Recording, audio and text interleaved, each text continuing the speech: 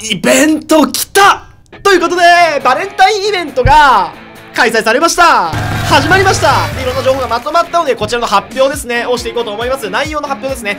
えー、さらに今回、2月9日に、その実装された別の要素ですね、まあ、巣の変更も来たんですけど実は卵の中身が変わってたりとか、えー、こういうこともありました。なので今回はこの辺について語っていこうと思います。バレンタインイベントについての詳細です、えー、こちらは2月の9日から2月の15日ですね。まで、1週間。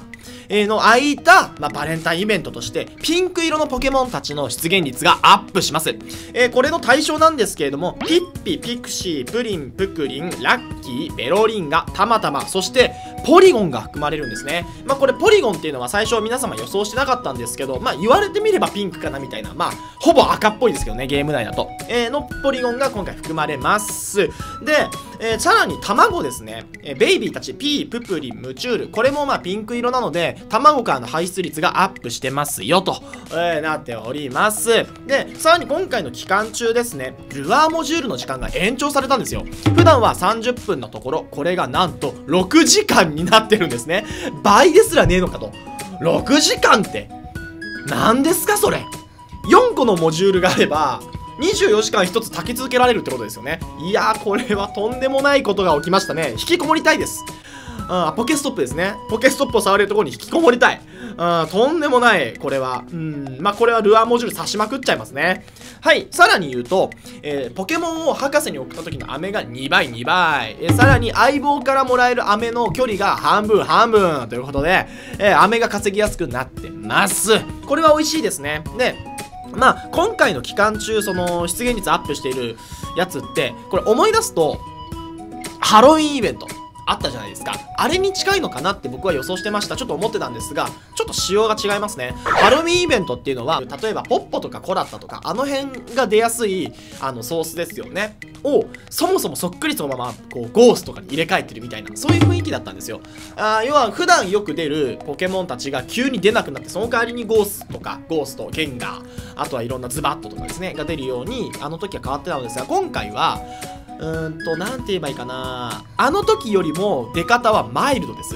その代わり、ベロリンガや、あ、ラッキーですね。この辺のレア枠と言われるポケモンたち。あと、あ、ポリゴンもか。このレア枠と言われる奴らが、まあ、結構上がってます。でも、これも全国的に増えてるわけではなくてですね、そもそもそのポケモンの発見報告があるような地域での出現率が上がってます。まあ、どういうことかというと、じゃあ A という、えー、土地。ピッピピッピッピとかプリンが出てきて普段ポッポコラッターが出る A という土地。でここは今までラッキーの出現報告はなかった。で B という土地。ここはまあ普段ポケモンあんま出ないんですけどラッキーが例えば週に1回出たよとかっていうような土地。この A と B だと A の土地は今回のバレンタイン期間中はピッピプリンうーわーとうーわーとさらに増えです。でもうラッキーベロリンガポリゴンっていうのはまあまあ出ないかな。まあ、ワンチャン出るかもな、ぐらいの感じに落ち着いてます。で、B という土地は、ラピピプリンとかも出るかもしれません。出るようになってはいるんですが、ラッキー、ベロリンガ、ポリゴン、この辺が、もう、あれ？さっき見たけどまた出てるみたいな、そういう状況に変わります。なので、もしも今回の期間中にそれらのレア枠を見つけたい場合は、そういうもの、そういうポケモンたちがそもそも出ている報告があるような土地ですね。まあ、各都道府県に、その、きっとあると思います。まあ、あの、僕の場合は東京になるので、東京の、あ、確かあの辺多いよなとか、あそこ多いよなっていうところに狙い撃ちで行って、例えばラッキーを狩るとか、ポリゴンを狩るとか、っていうことを、まあ、するのが、えー、今回は良さそうです。えー、イベントの、まあ、ポケモン、出てくるポケモンたちの、えー、状態が、えー、ハロウィンの時とはちょっと違うよと。今回は狙い撃ちを各場所にしていった方がいいよと。そのことをぜひ覚えておいてください。そして、今回のバレンタインイベントとはちょっと別なんですけど、卵の中身が変更になったという情報がこれ今流れてまして、これ多分動画見てる方ご存知じゃない人いらっしゃると思ったので、こちら、え、こちら伝えようと思います。えっと、10キロ卵と5キロ卵ですね。が、から、広角になったポケモンたちがいます。あの、10から5に EV が変わったじゃないですか、以前ね。これと似たようなことが起きました。えっと、まずは5キロ卵の方からいきましょう。5キロ卵から2キロ卵に変更になったポケモンたち。アーボ、ニドラン、これはオスメス、えー、含めます。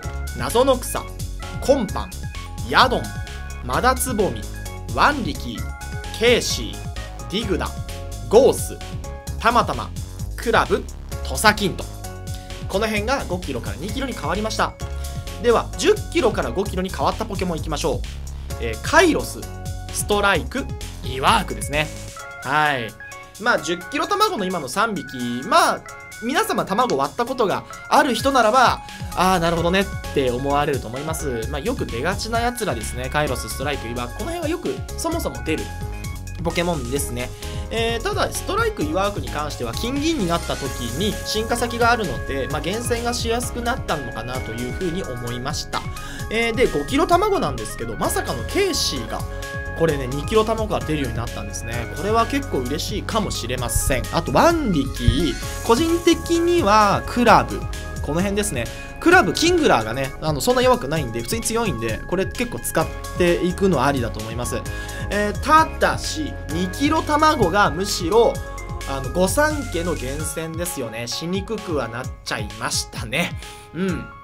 えー、代わりに5キロ卵のトゲピーとピー。この辺は出やすくなったと言っていいのではないでしょうか、えー、さらに言うと今回期間中ではあるんですけどポリゴンとベロリンガかこの辺のレア枠が、まあ、外れが減ったので、もしかしたら相対的に上がってるかもしれません。えー、みたいに卵の内訳が少し変更になりました。えー、多分ちょっと、え、なんでこいつここから出んのみたいな、えー、ことが、まあ、あの、皆様でびっくりすると思うので、こちら、えー、触れさせていただきました。ということで今回のバレンタインイベント、そして同日2月9日に実装された、えー、ものについてお話しさせていただきました。巣の変更もこれ来てるので、まあ、もしよろしかったらゲームイズの記事をご覧ください。ちなみになんですけど、今日、実際にバレンタインイベントを体感するためのロケ動画、これもあげます。えー、なので今日一日でちょっとバレンタイン系の動画、これともう1本で2つあげるので、もしよろしかったらそちらを見てください。両方見てくれるとね、まあ、の実際どうだったんだっていうのと、内容の情報が、えー、まとまってるものがわかると思いますので、よろしくお願いします。